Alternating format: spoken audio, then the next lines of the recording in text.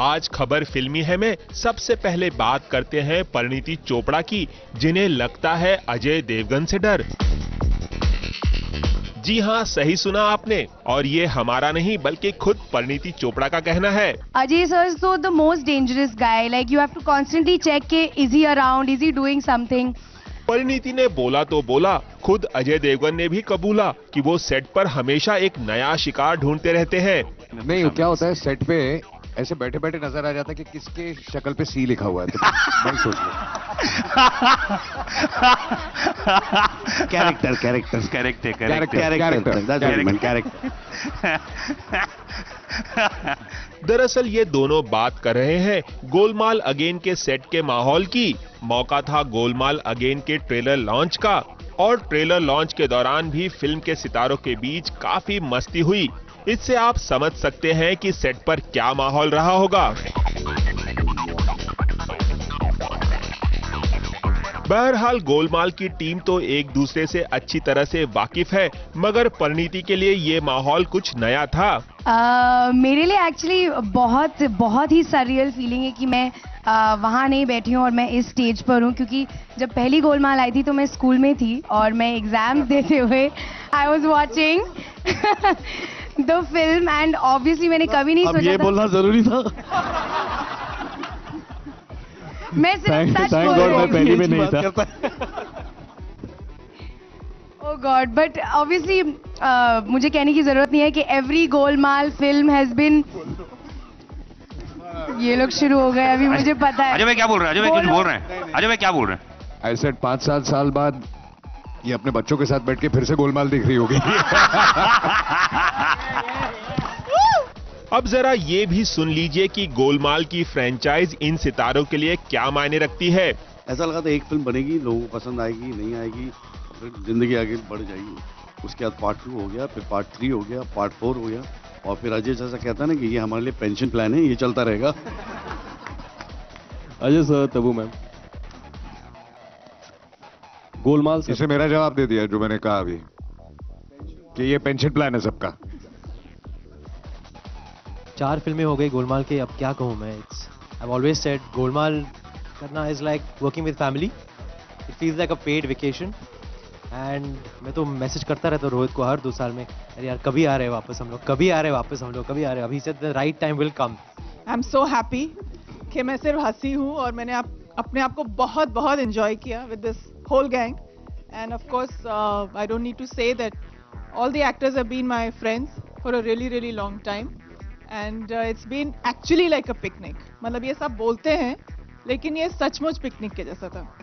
Johnny liver ने भी इस लॉन्च के दौरान अपने कॉमेडी का तड़का लगाया और अजय देवगन के वन लाइनर्स के आगे खुद को कम बताया। चलिए अब ये देखना दिलचस्प होगा कि गोलमाल अगेन पहले के मुकाबले दर्शकों को कितना हंसाती है।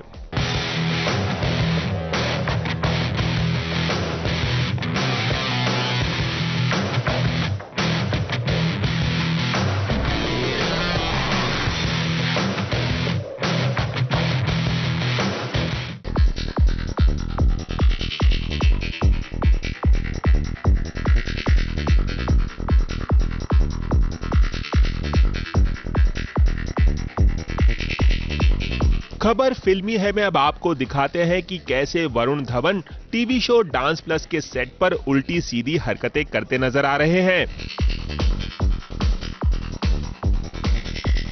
दरअसल वरुण धवन डांस प्लस के फिनाले में खास मेहमान बनकर पहुँचे थे और उनका दिल जीत लिया असम के इस कंटेस्टेंट ने अपने डांस के ज़रिए।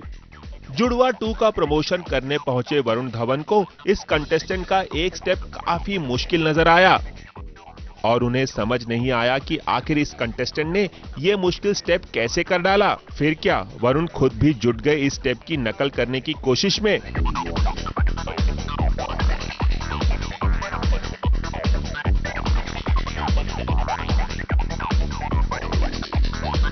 इसके बाद डांस प्लस के इसी मंच पर खड़े होकर वरुण धवन ने इस बात का ऐलान किया कि वो एबीसीडी टू के बाद एबीसीडी थ्री में भी नज़र आएँगे। B, C, D, 3. अब मैंने फिर डिफरेंट फ़िल्में की है but after coming your I am very very very excited and it's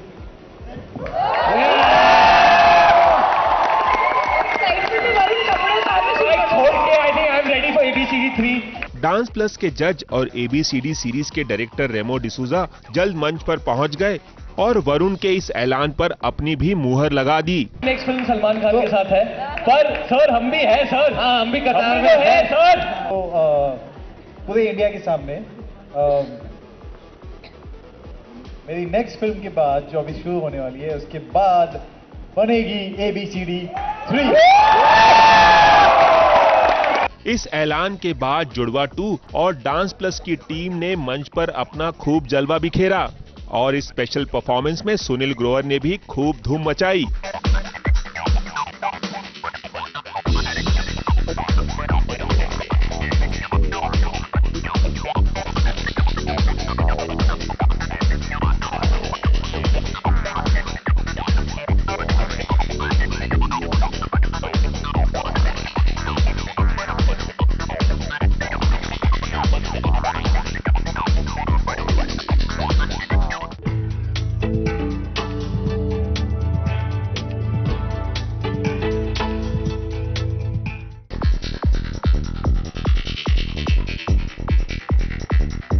खबर फिल्मी है कि अगली खबर है राजकुमार राव की फ़िल्म न्यूटन के बारे में, जो इसी शुक्रवार को रिलीज़ हुई है।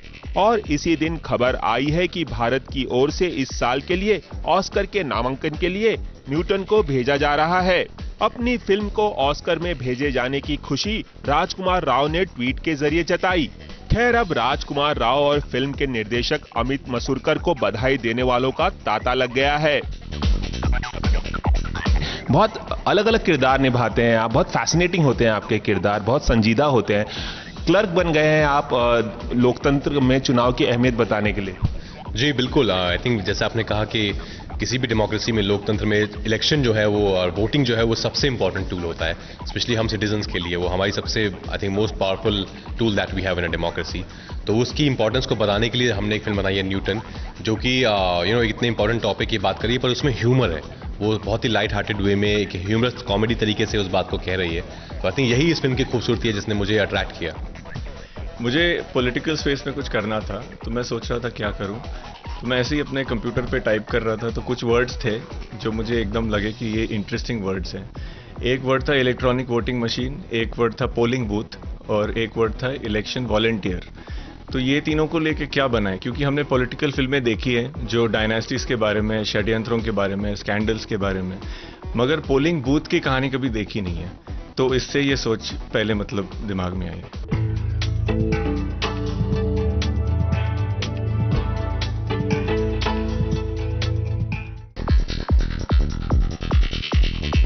सोशल मीडिया के शोशा में सबसे पहले बात करते हैं रणबीर कपूर और पाकिस्तानी एक्टर माहिरा खान की, जिनकी ये तस्वीरें फ़िलहाल इंटरनेट पर तहलका मचा रही हैं।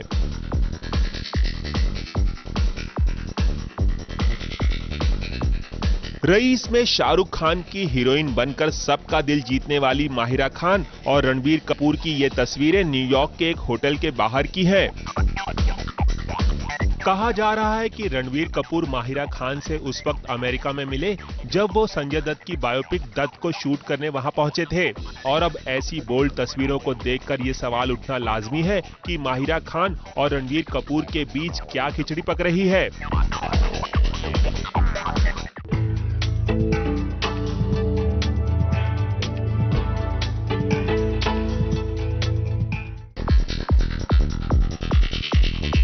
सोशल मीडिया के शोशा में अब बात करते हैं रणबीर कपूर की बहन करीना कपूर की, जिनका गुरुवार को 35वां बर्थडे था। करीना ने अपने बर्थडे का जश्न अपने घर पर अपने यार दोस्तों के साथ मनाया। उन्हें बर्थडे विश करने वालों में उनके पति सैफ अली खान के अलावा करण जौहर, अर्जुन कपूर, मलाइका अरोड़ा, अमृता अरोड़ा, मनीष मल्होत्रा और कई दोस्त शामिल थे।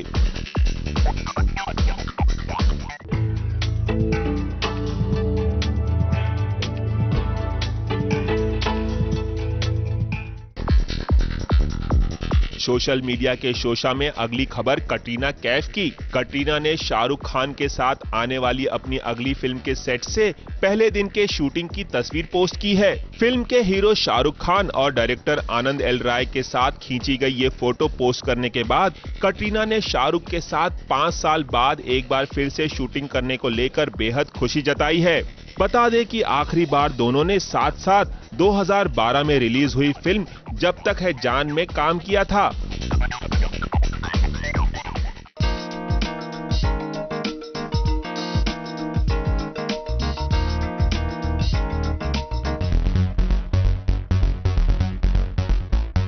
सुना है कि दूध का जला छाछ भी फूंक फूंक कर पीता है। लगता है कि शाहरुख खान भी अब इसी कहावत पर अमल कर रहे हैं। शाहरुख खान नहीं चाहते हैं कि आनंद एल राय के डायरेक्शन में बन रही उनकी अगली फ़िल्म किसी और फ़िल्म से बॉक्स ऑफ़िस पर टकराए। अब शाहरुख का रीजेंट पास तो यही बताता है कि जब भी उनकी कोई बड़ी फ़िल्म बॉक्स ऑफ़िस पर टकराती है तो नुकसान तो उन्हीं की फ़िल्म को झेलना पड़ता है। फिर चाहे बात दिलवाले की हो जो बाजीराव मस्तानी से बॉक्स ऑफ़िस पर टकराई थी, या फिर बात हो रईस की जो काबिल के सामने रिलीज़ हुई थी और उसे काफ़ी नुकसान उठाना पड़ा था। वैसे शाहरुख, हम भी यही नसीहत देंगे कि आपकी कोई भी फ़िल्म अगर सोलो रिलीज़ हो तो ज़्यादा बेहतर है। सुना है कि दीपिका पादुकोण, रणवीर सिंह और शाहिद कपूर की फ़िल्म पद्मावती का टीजर दशहरा के दिन रिलीज़ होगा। और सुनने में ये भी आया है कि पद्मावती के फ़र्स्ट लुक को मिले रिस्पॉन्स से फ़िल्म के सभी सितारे काफ़ी खुश हैं।